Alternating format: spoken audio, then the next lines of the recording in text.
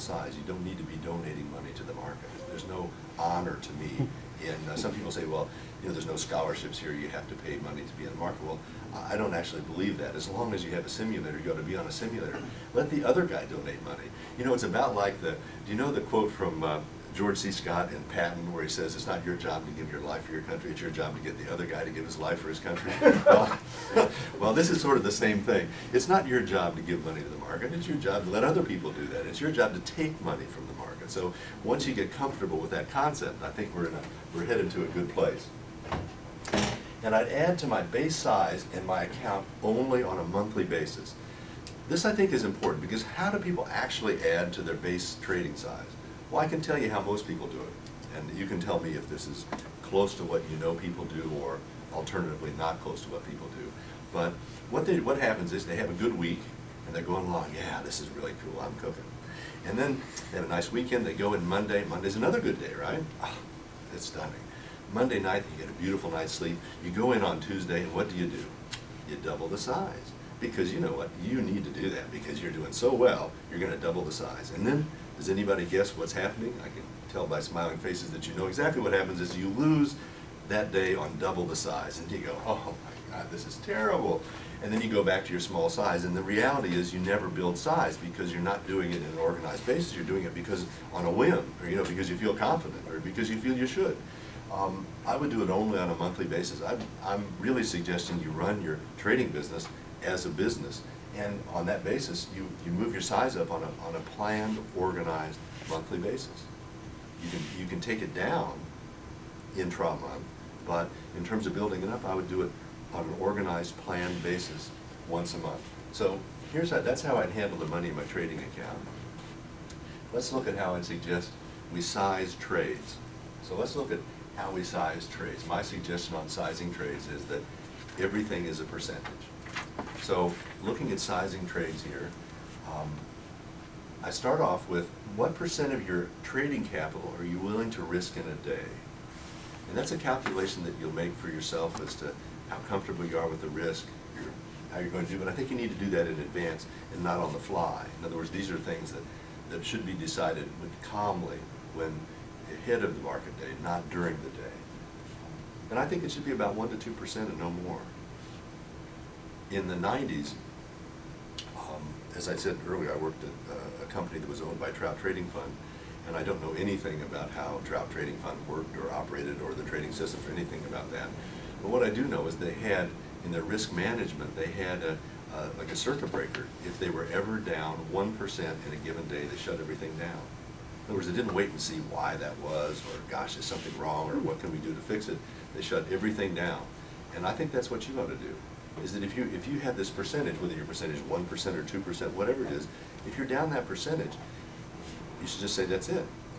And I have a, a fairly good history of uh, working with people where they extend limits. And let me tell you my story of extending limits. And Dan, I think, probably remembers this. We had this theory in the proprietary trading business that we would give everybody a small limit.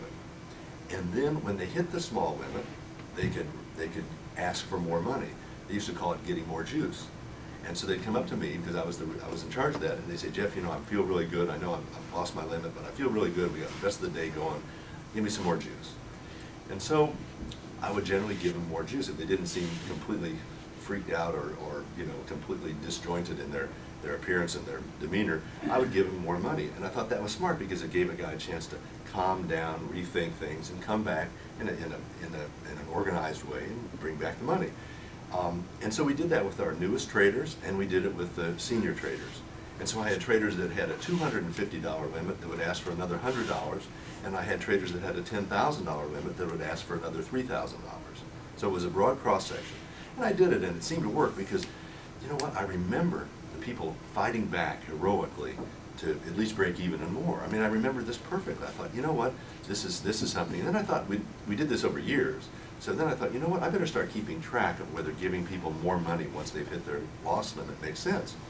And so my supposition was that the traders that were new traders, it probably didn't make sense to give them any more money. Because if you gave them more money, they probably just lost it. But you know what, it wasn't that much money, and you know, so I didn't feel that bad about it. I, I thought that's what's going to happen when I start keeping track of it. But you know, our great traders, I knew they were able to fight back because I remembered the times where I'd give them, you know, they'd be minus ten thousand, I'd give them two thousand dollars, and they'd end up the day plus thirty-five hundred, or even even is a pretty big, pretty big move. So I, I had this perfect memory of how this worked so well. So I started keeping track of it.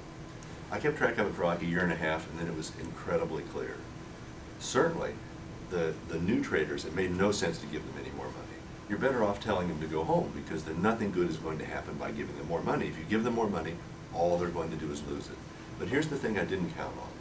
For our best traders, the people that I remember giving them three thousand dollars and having them heroically fight back and be only down, you know, thousand dollars when they were down ten thousand or whatever the numbers were, it made no sense. It made no sense for anybody.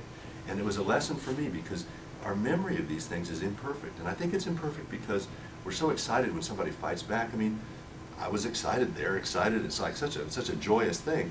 We remember that perfectly, but what we don't remember is all the times where the great trader was down ten thousand and he leaves the day minus, let's say, thirteen thousand or fourteen thousand. It doesn't sound like much, except at that point in the day, he's trading like a crazy person. I mean, there's, there's a, all these commissions that are generated in the process, so it's a, a lot that happens. There's more to the dynamic of this than just the money. There's the additional cost of having him do this. And there were times where it went horribly wrong, where let's say that I gave the guy the extra three thousand dollars and he, he lost another ten.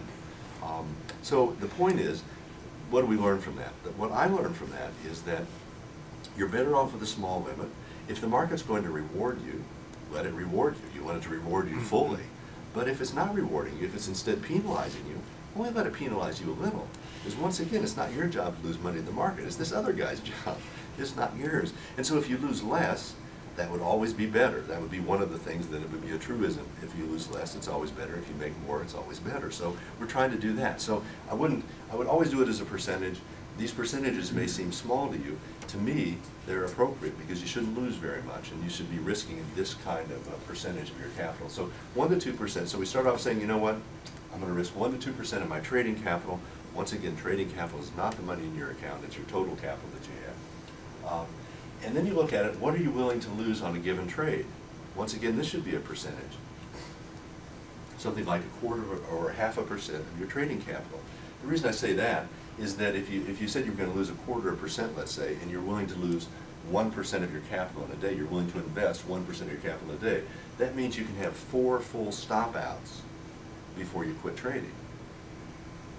So that's pretty good. If, if you know if you have four full stop outs, something's not working. Hmm. And, and, my theory is, it's not, a, it's not important to find out what's not working. In other words, is it the market? Is it me? Is it, you know, Jupiter aligned with Mars? Who cares? The, the, the point is, we're losing money, and, and that's all that matters. And we want to do less of that. Um, so, in terms of what are we willing to lose in a given day, once again, it, it translates to a percentage, and it should give you some reasonable number of tries during the day, but not too many. Because if it's going to work, um, it's going to work. If it's not going to work, you know, you might as well just go do something else. Um, and so, how do you come up with appropriate size? Um, you start off with what you're willing to risk on a trade, then you divide that by the appropriate risk per contract. So in other words, if you have a strategy, let's say that, that requires, I've used the example here, four S&P ticks, um, that would be fifty dollars.